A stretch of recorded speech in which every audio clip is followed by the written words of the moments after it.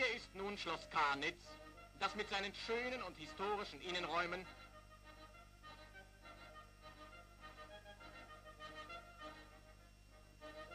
und seinem weitläufigen Park mit den vielen Teichen und Alleen Mittelpunkt des Gutes Lupo ist.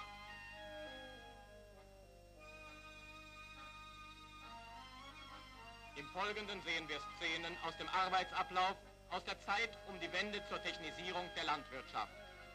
Heute selbstverständlich nur noch eine Erinnerung.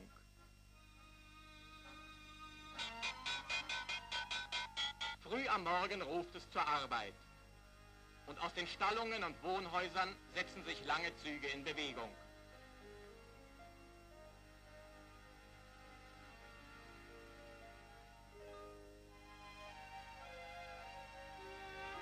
Draußen auf den Feldern wird Getreide gesät.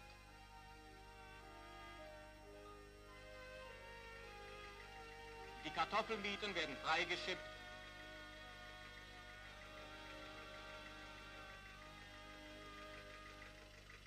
Und die Saatkartoffeln je nach Größe sortiert.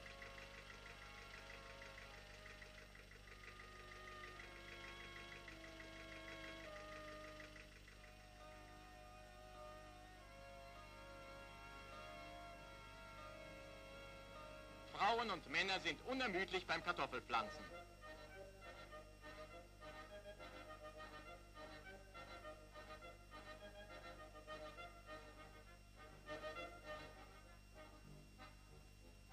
Besonders stolz ist jeder Landmann auf seine Pferde.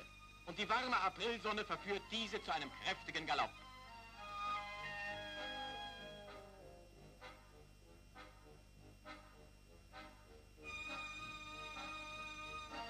Viele Wagenladungen Stallmist werden auf die Felder gefahren und gestreut.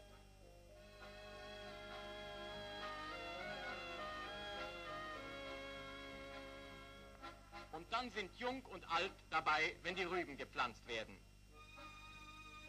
Die Brukenpflänzchen werden gezogen und in der Kolonne ausgepflanzt.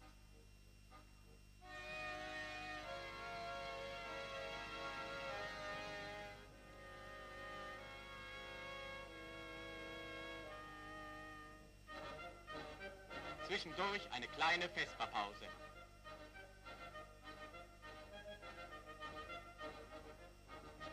Im Kurs steht das Milchvieh. Große Rinderherden bevölkern die Wiesen und Weiden.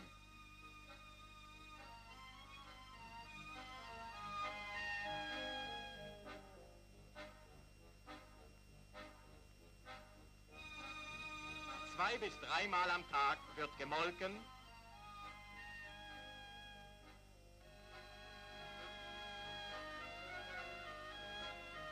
und die frische Milch wird sofort durch einen Wattefilter geseit.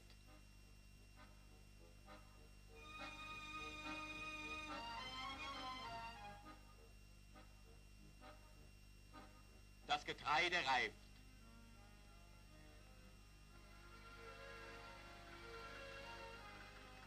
Bald rattern die Mähbinder über die Felder.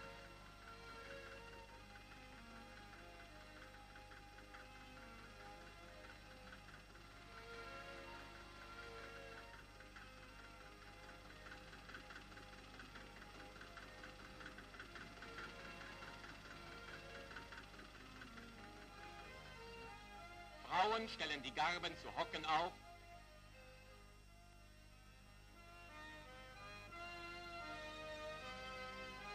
Das Getreide wird eingefahren.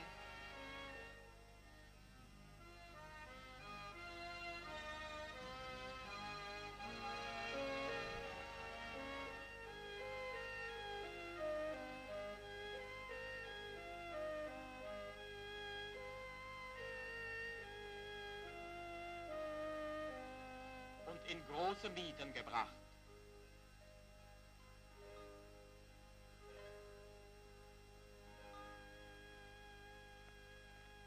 In den Wäldern ist der Forstmann unterwegs und freut sich an den Rehen und ihren Kitzen.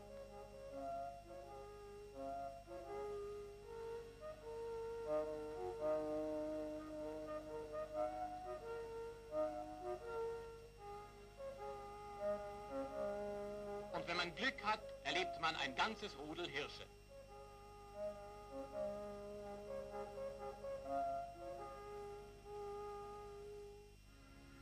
Brachliegendes oder abgeholztes Land wird wieder aufgeforstet.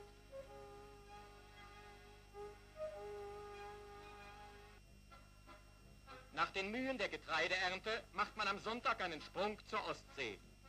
Auch den Landmann zieht es immer wieder zum naheliegenden Meer.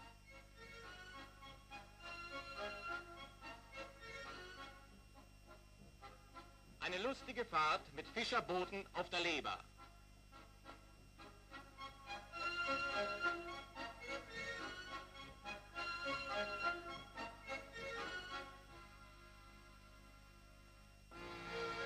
Ein festlicher Tag ist das Erntedankfest mit der Erntekrone,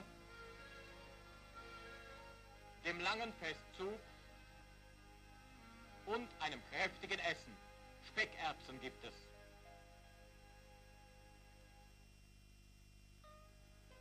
Kartoffelernte. Die Kartoffeln werden gehackt,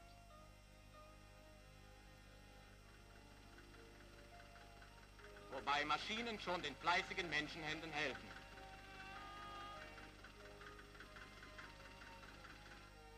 Anschließend werden sie in großen Kastenwagen abgefahren. In den Pausen zwischen Bestellungs- und Erntearbeiten werden Straßen im Bereich des Gutes gebaut oder ausgebessert.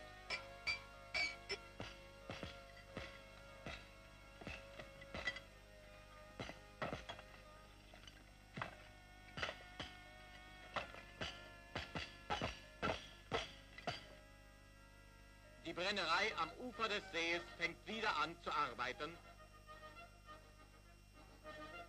Und Stallungen und Wohnhäuser werden ausgebessert und erneuert. Die letzte Ernte des Jahres wird eingebracht.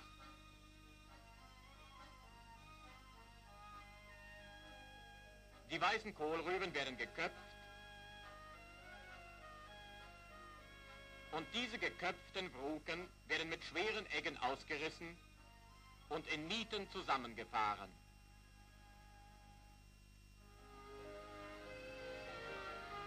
Schafherden ziehen über die abgeernteten Felder. Der Herbst ist im Land, die Winterszeit steht vor der Tür und dann ein neues Jahr mit gleichen Regeln.